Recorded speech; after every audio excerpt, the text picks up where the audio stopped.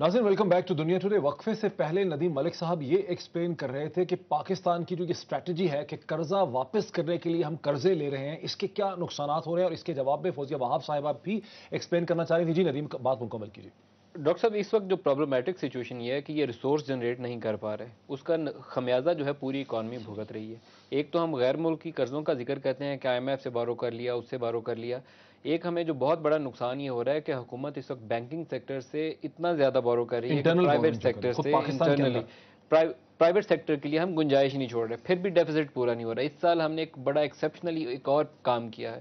State bank کے reserve جو fund ہوتے ہیں، اس میں سے بھی پیسہ ٹرانسفر کروایا ہے تاکہ ڈیفیزٹ کو ہم کر کم کر سکیں۔ وجہ کیا ہے اس کی؟ یہ میں یہاں بڑا زور دے کر کہنا چاہوں گا۔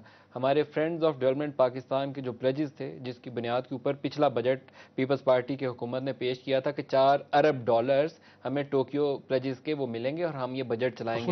اس میں سے چھبیس ارب روپیہ which is less than five hundred million rupees actually transfer ہوا۔ کیری لوگر بل کتنی لڑائی ہوئی کتنے بیان بازی ہوئی یہاں پہ بہت سے لوگوں نے اور انسٹیٹیوشن نے سیاست کی۔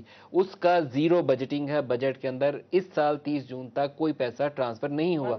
کولیشن سپورٹ فنڈ ہمارا ہم ڈیڑھ لاکھ فوج لگائی ہوئی ہے وار آن ٹیرر کی اتحادی بن کر۔ 1.35 بلین ڈالر 1.35 بلین ڈالر کی کمٹمنٹ تھی کہ تیس جون تک ٹرانسفر کریں گے۔ اونلی 0.35 بلین ڈالر ٹرانسفر ہوا ہے ایک بلین ڈالر ٹرانسفر نہیں ہوا۔ فوجہ بی بی کو نمبر چیک کرنے چاہیے۔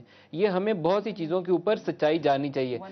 International monetary international monetary fund کے ساتھ ہم ایک پوائنٹ اور ایڈ کر لوں پھر فوجہ بی بی آپ جواب دیجیے۔ انٹرنیشنل مانیٹری فنڈ کے جو سٹاف رپورٹ ہے جو ہماری منسٹری آف فائنانس میں فائنانس منسٹر اور اسٹیٹ بینک گورنر سائن کر کے بھیجتے ہیں اس میں ہماری ڈیفنس اسپینڈنگ کا جو نمبر دیا گیا ہے وہ پانچ سو ترانوے ارب۔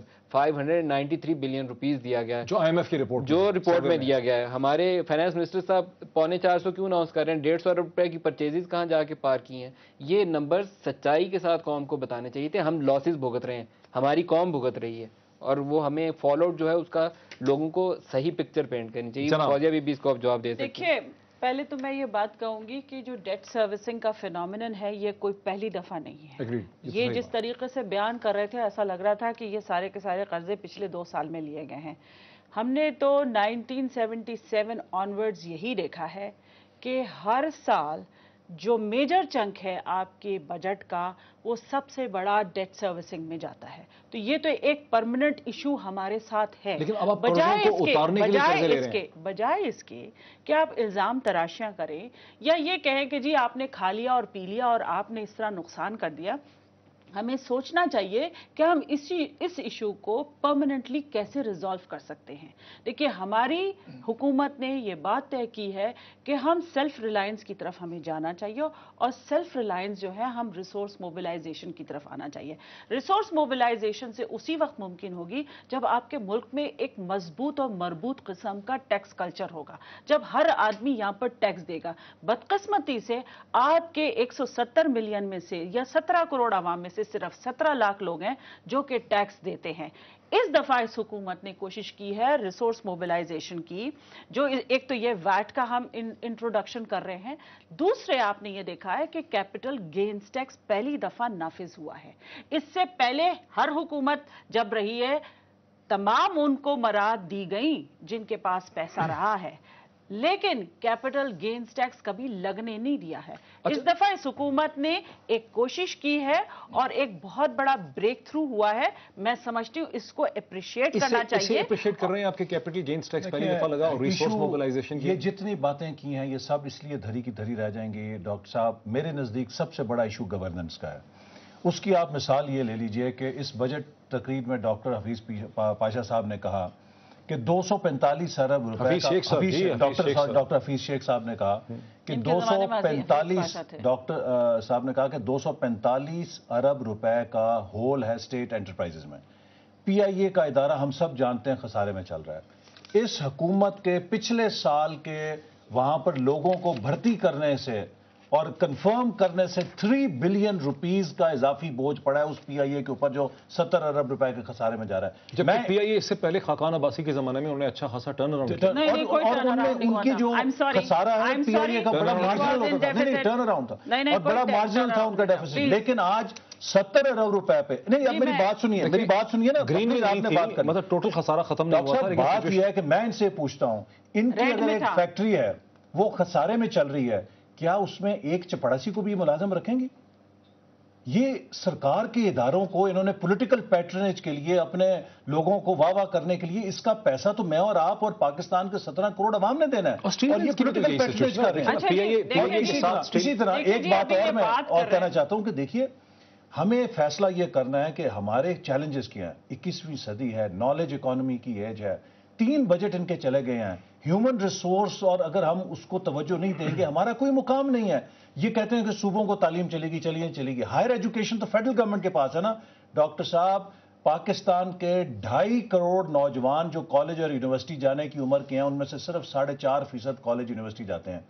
انڈیا میں یہ فگر گیارہ پرسنٹ ہے۔ اب اس تناسب سے تو ہمیں اپنے کالج اور یونیورسٹی دگنے کرنے چاہیے۔ انہوں نے ہائر ایجوکیشن کمیشن کا بجٹ بائیس ارب سے گھٹا کے پندرہ ارب کر نہیں لیکن ایسا نہیں اس کے جواب میں تو یہی ہوگا نا جیسے دیکھیں اب جیسے چودھری نثار صاحب کی ساری سپیچ میرے سامنے جتنا بھی نیوز کا وہ ٹکر ہے اس وقت تھا اس میں کوئی بھی انہوں نے سبسٹینشل پروپوزل تو نہیں دیا کہیں پہ۔ وہ تو ہے اور باقی باتیں کریں گے جب آج آج تو اوپننگ ہے نا۔ ساری ہوتی ہیں۔ ساری ابھی جب ممبران کی سپیچز ہوں گی سجیشنز آئیں گی تو اینڈ میں پھر حکومت ان تجاویز کی روشنی میں لیتی ہے۔ اب مجھے یہ بتائیے میں صرف یہ پوچھنا چاہتا ہوں۔ جنریٹو کیپیسٹی کی بات کرتے ہیں آپ کہتے ہیں کہ میں دیکھیں نا ایگریکلچر کے اندر یہ بتائیں کہ اس پوری تقریر میں جو بجٹ سپیچ تھی کوئی ایگریکلچر کے لیے ایسا کنسیشن ہے کہ جس سے فارمرز جو ہیں ان کو انسینٹیو ہو کہ وہ زیادہ پروڈکٹیو ہوں؟ کیا ہم نے ٹیکنالوجی کے لیے کوئی انویسٹمنٹ اگر آپ کی حکومت بن جاتی ہے تو کیا اچھا، آپ لوگ ایگریکلچر ٹیکس آلریڈی موجود ہے۔ یہ بھی ایک بڑا مس نومر ہے۔ ایگریکلچر ٹیکس آلریڈی موجود ہے اور جو کہ پنجاب کے اندر نافذ ہے اور یہ ہماری حکومت نے لگایا تھا جب ہماری حکومت تھی۔ چھ سات سو ملین روپے سے زیادہ اس سے ملتا نہیں۔ ڈاکٹر صاحب میں ایک چیز صرف کہنا چاہوں گا۔ ایک چیز جو اس بجٹ کی خامی ہے اس میں کوئی ریفارم ایفرٹ نہیں ہے۔ فوزیہ بی بھی کہہ رہی ہیں سیلف ریلائنس اس کے لیے آپ کو ریسورس موبلائزیشن میں ریفارمز کرنی ہوتی ہیں۔ سب سے بڑی ریفارم جو اس حکومت کی ہونے والی تھی جس کا ان کو شاید کریڈٹ مل جاتا وہ تھا وی او ٹی کی امپوزیشن لیکن ان کی ناکامی کا حال یہ دیکھیے کہ انہوں نے دو سال پہلے آئی ایم ایف سے کمٹمنٹ کی کہ ہم وی او ٹی نفاذ کریں گے۔ اور یکم جولائی کو نافذ ہو جائے گا دو ہزار دس سے۔ بجٹ اناؤنس کرتے وقت پتا چلا صوبہ سندھ جہاں ان کی اپنی حکومت ہے کولیشن پارٹنر ہے ایم کیو ایم ان کی وہاں پہ وہاں پہ ہی اتفاق رائے نہیں ہے۔ اس کی وجہ سے ہمیں اسے ڈیلے کر جی، وہاں پہ کیوں اتفاق جو ایفرٹ آنی تھی وہی آنی ہم نافذ کرنے جائیں گے۔ لیکن ابھی فی الحال ہم نے اس کو ڈیفر کر دیا تین مہینے کے لیے۔